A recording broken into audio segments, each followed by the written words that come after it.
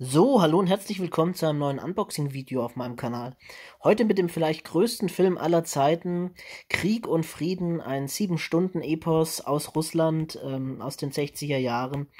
Die berühmte Verfilmung ähm, von dem gleichnamigen Roman, eines der wichtigsten Werke der Weltliteratur. Ähm, der Film selber wurde damals auch mit dem Oscar als bester ausländischer Film ausgezeichnet. Und ja, wir haben hier die Blu-ray von Bildstörung ähm, ein ganz, ganz tolles Label. Und die haben sich jetzt quasi das Master, welches auch Criterion für ihren Release verwendet hat, geschnappt und ähm, haben das Ganze mit einer deutschen Synchro versehen, und zwar von der DEFA, also quasi der äh, deutschen Synchronlandschaft aus der DDR. Denn nur dort lief der Film auch ungeschnitten. In Westdeutschland ähm, hatte man eben nur eine geschnittene Fassung, die dann auf drei Teile gesplittet wurde. Und ähm, in der ursprünglichen Fassung geht der Film eben über sieben Stunden. Ja, und es ist eine tolle Sache, dass man hier sich die Mühe gemacht hat, ähm, die Synchronfassung ähm, ja zu restaurieren und eben diesem Film beizufügen. Das Ganze wurde in der Schauburg in Karlsruhe gemacht, äh, weil man dort eben noch einen Original 70 äh, Millimeter ähm, ähm, Projektor auch hatte, wo, wo, wovon man das Ganze dann abtasten konnte. Und natürlich ist auch der russische Originalton hier mit drauf, mit deutschen Untertiteln. Aber bei sieben Stunden, denke ich, kann es durchaus mal angenehm sein, äh, kein, nicht nur Untertitel lesen zu müssen. Ja, ähm, der Film sprengt alle Dimensionen. Es sind insgesamt 12.000 Statisten, also oder sogar noch mehr. 23 Tonnen Schwarzpulver wurden verwendet. Ähm, dazu wurden 40 Museen äh, wurden angefragt, die dann eben Kostüme und Ornamente und verschiedenes für die für den Film beigesteuert haben. Ähm, das Ganze wurde eben von der Regierung ähm, genehmigt und wurde kostenlos zur Verfügung gestellt. Also die 12, über 12.000 Statisten sind zum Beispiel ähm, ja, ähm, Soldaten aus dem Militär, die dafür abgestellt wurden. Wenn man die alle hätte bezahlen müssen, quasi die Filmcrew, äh, dann wäre das äh, exorbitant geworden preislich. Aber so hat es quasi äh, der Staat übernommen. Und ähm, Deswegen ist äh, statistisch gesehen immer noch Cleopatra, die Verfilmung mit Elizabeth Taylor, auch in meinen Augen ein äh, Meisterwerk, ähm, ist immer noch der teuerste Film. Allerdings hat der eine ziemlich durchwachsene Produktionsgeschichte mit verschiedenen Unwettern, was zu Verlegungen von Standorten geführt hat. Dann äh, hat sich das Ganze hingezogen. Elizabeth Taylor wurde krank etc. pp. Was dann summa, summa, summa summarum den teuersten Film gemacht hat.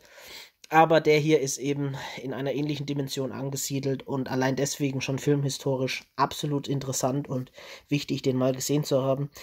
Auf einer Bonus-DVD findet sich dann, finden sich dann noch diverse Making-ofs. Ähm, man hat hier auch vom WDR eine ähm, Doku lizenziert von 1966. Also das ist richtig, richtig cool und ich finde es auch ganz gut, dass man das auf eine extra DVD ausgelagert hat.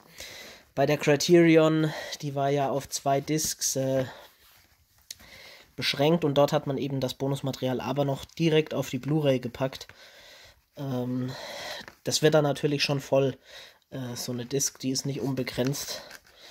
Und ja, hier hat man dann noch bildstörungstypisch hat man das so als Einleger, den man eben so drum spannen kann. Und dann hätte man hier nochmal das Cover ohne FSK-Logo in schwarz mit roter Schrift. Und hier hat man noch Werbung für ihre anderen äh, Filme, die sie herausgebracht haben. Coherence und äh, Es ist schwer, ein Gott zu sein, habe ich euch ja schon vorgestellt. Ja, übrigens, wenn ihr das direkt im Shop bestellt, kriegt ihr noch sieben Postkarten mit Motiven aus dem Film. Ich habe das jetzt über Amazon bestellt, weil es da eine Aktion gab, dass man da einen 10-Euro-Gutschein für einen Artikel seiner Wahl verwenden kann und und dann habe ich mich jetzt hier für die günstigere Variante entschieden. Aber ich äh, lobe jeden, der, der direkt seinen Support Bildstörung gibt und dort vor Ort bestellt. Ja, wie man hier schon sehen kann, es sind wunderbare Aufnahmen dabei mit toller Farbgebung. Und ähm, ich habe schon mal in den Transfer ein bisschen reingeguckt, in den ersten Teil. Und ähm, Die Datenrate bewegt sich so im 15er Bereich, also 15 Megabyte die Sekunde. Und ähm, sah für mich eigentlich ganz gut aus. Klar, das Filmkorn ist da, es ist auch teilweise ein bisschen stärker, aber ich finde, es hat schon auch HD-Feeling. Man muss bedenken, es wurde minderwertigeres Filmmaterial einfach verwendet. Man hatte da jetzt nicht so das High-End-Equipment zur Verfügung bei der Produktion dieses Films und ähm, für das finde ich sieht es sehr gut aus. Man hat farblich so ein paar Fluktuationen, ähm, aber nichts, was mich jetzt groß abgelenkt hätte und ähm, hier übrigens tolle Diskmotive, wie ich finde. Und dann hat man hier noch die Bonus-DVD. Also auch hier finde ich schöne Motive gewählt. Und dann hat man hier auch wieder ein ganz tolles Bild. Ich habe auch mal in eine der Schlachtszenen reingeguckt und ähm, Wahnsinn, die Kamera wirkt unglaublich modern, meiner Meinung nach. Ähm, hier übrigens, äh, das, was nehme ich an, ist das original russische Kinoplakat-Motiv, äh, das da verwendet wurde. Sieht auch richtig toll aus. Und ähm, ja, also ganz tolle Kameraperspektiven, äh, viele Overhead-Shots, also was man heute ja gern mit der Drohne macht, dass es so spektakulär aussieht, dass man da quasi wie so ein stiller Beobachter über die Szenerie hinwegfliegt, haben sie damals eben auch schon gemacht. Ich nehme mal an mit einem Helikopter dann. Äh, das konnte nicht ganz so stabilisiert werden, deswegen wackelt das gerne mal ein bisschen heftiger, aber es sieht unglaublich beeindruckend aus. Darüber hinaus scheint es wohl auch so zu sein, dass man immer wieder die Gedanken der Charaktere aus dem Off hört, gerade auch im Krieg. Ähm, das ist schon echt spektakulär. Und ähm, ja, das Booklet hier hat 24 Seiten. Und ähm, also auch richtig, richtig cool mit viel Text. Ihr seht das ja.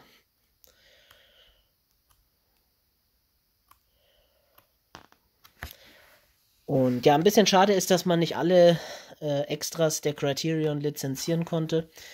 Ähm, Wäre natürlich noch das i-Tüpfelchen gewesen, aber man hat sich eben Gedanken gemacht, hat eigene äh, äh, Extras einfließen lassen. Und ja, ich freue mich total auf dieses siebenstündige Epos. Ähm, ein ganz, ganz großer Film in jedem Fall.